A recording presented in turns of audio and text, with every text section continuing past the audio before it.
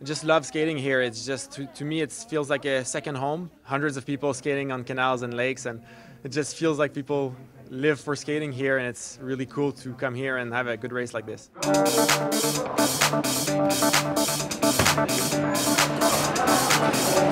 Ja, wereldkampioen.